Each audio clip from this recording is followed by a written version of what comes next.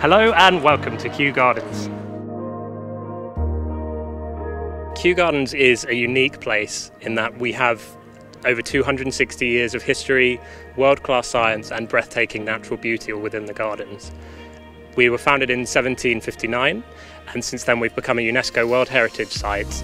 And uh, the gardens contain one of the largest and most diverse collections of living plants in the world. Our main attractions we have the Temperate House, that is the largest surviving Victorian glass house in the world, and it was recently restored in 2018 to its former glory.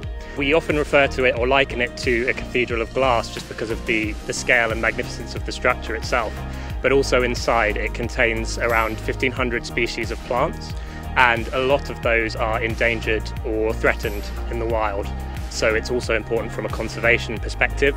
And as you tour the glass house, you can also uh, read up about what our scientists are doing to help protect those.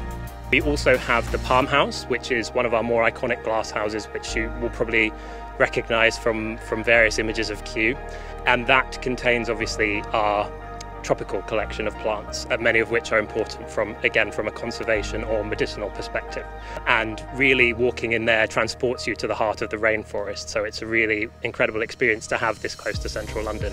We also have some of the more natural beauty, the Great Broadwalk Borders, which is the longest double herbaceous border in the world, which looks absolutely stunning from spring all the way through to autumn and is full of beautiful scents and colours um, from all the planting there. We also have the Hive, which came to us in 2016. It's a really beautiful structure which takes the beehive as its inspiration and it's there to highlight the plight of the honeybee, how important it is to the future of the planet. Surrounded by a beautiful wildflower meadow, which is the typical environment where you would find thriving populations of honeybees and it reacts to the motion of the bees within a hive contained at Kew. So the more active they are, the more it will vibrate and hum and kind of come to life. So it's a, it's a lovely immersive experience.